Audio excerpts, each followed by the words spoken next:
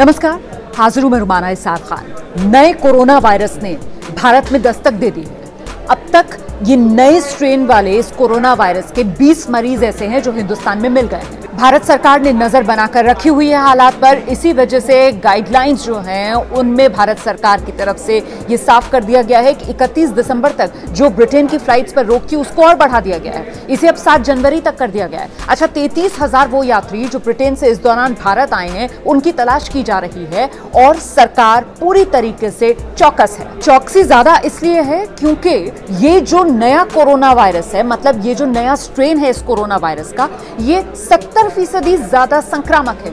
Infection जो है, ये 70 परसेंट ज़्यादा तेज़ी से फैलाता है। ये ज़्यादा खतरनाक है या नहीं है? इसे लेकर देखिए, अभी जानकारी साफ़ नहीं है, लेकिन कुछ साइंटिस्ट का ये कहना है कि इसका ज़्यादा संक्रामक होना अच्छी खबर है। कोरोना वायरस के नए स्ट्रेन का तेज़ी से फैलना कुछ साइंटिस्ट के मुताबिक अच्छी खबर इसलिए है क्योंकि 19वीं सदी में एक फिजिशियन हुए थियोबाल्ट स्मिथ उन्होंने एक थियोरी दी लॉ ऑफ़ डिक्लाइनिंग वायरलेंस जिसका मतलब ये होता है कि अगर कोई वायरस तेज़ी से फैल रहा होता है तो उनकी स्टडी के मुताबिक उसका खतरनाक होने की जो क्षमता है, वो कम होती जाती है। मतलब एक तरीके से इन्वर्सली प्रोपोर्शनल उनकी स्टडी के मुताबिक वायरस के फैलने की रफ्तार और वायरस का घातक होना। ये जो थियोरी है, इस थियोरी के सपोर्ट में साइंटिस्ट ये कहते हैं कि देखिए साहब, अगर ज़्यादा खतरनाक होगा वायरस तो फिर वो जिस शरीर में होगा, सबसे पहले तो उसको खत्म कर देगा ना। ऐसे में फिर वो फैलेगा कहाँ? और इसकी सपोर्ट में इबोला वायरस का ज़िक्र यहाँ पर साइंटिस्ट की तरफ़ से किया जाता है और कहते हैं कि इबोला वायरस जो फैलता भी तेज़ी से है, लेकिन जो घातक भी ज़्यादा है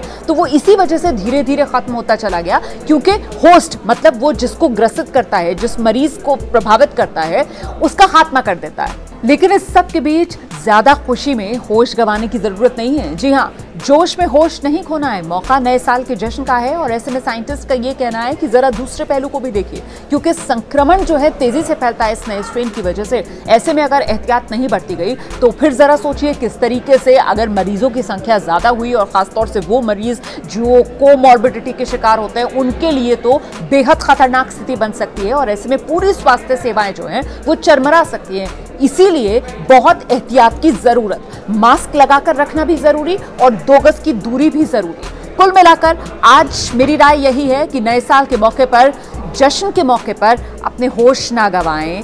जश्न जो है अपने घर पर, अपने परिवार के साथ ही मनाएँ भीड़ भाड़ से बचें बड़ी बड़ी पार्टीज़ के आयोजन से बचें। नए साल का स्वागत 2020 की सीख के साथ करें। 2021 उम्मीदों और उमंगों भरा आपका हो, यही मेरा विश्वास है। नमस्कार।